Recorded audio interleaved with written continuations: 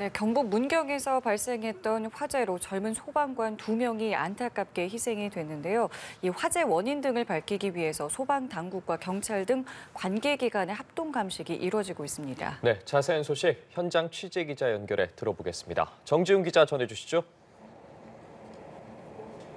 네, 경북 문경 공장 화재 사고 현장에 나와 있습니다. 아직까지 화재 여파로 인한 매캐한 냄새가 코를 찌르고 있는데요. 이곳에선 조금 전인 오전 10시 30분부터 민간 합동 감식이 진행되고 있습니다.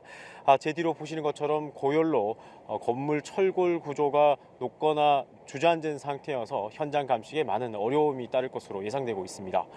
아, 조사 당국은 당체, 당초 화재 진화 완료 후인 어제 현장 감식에 들어갈 계획이었는데요. 아, 고열로 녹아내린 화재 건물 현장에서 혹시 모를 안전사고에 대비해 안전진단을 우선 진행했습니다. 조사당국은 안전진단을 거친 뒤 전문가들로 구성된 각 분야 감식반을 순차적으로 투입할 계획입니다.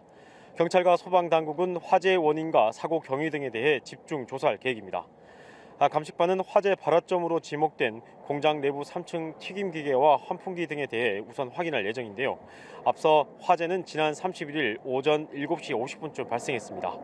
신고 8분 만에 도착한 소방대원들은 화재 진화와 구조 활동에 나섰고 이 과정에서 27살 고 김수광 소방교와 35살 고 박수훈 소방사 등 2명의 구조대원이 순직했습니다. 두 소방관은 건물 내 사람들이 더 있을 수도 있다는 얘기에 구조자 확인을 위해 동료들과 함께 들어갔다 현장에 고립돼 빠져나오지 못했습니다. 소방 업무에 열정적으로 임했던 젊은 두 소방관의 안타까운 희생에 동료 대원들을 비롯한 많은 사람들의 발길이 빈소에 줄을 잇고 있습니다. 두 소방관의 장례는 내일 오전 10시 내일 오전 10시 경북도청 동락관에서 경북도청장 도청장으로 엄수될 예정입니다. 지금까지 문경 합동 감식 현장에서 연합뉴스 TV 정준입니다.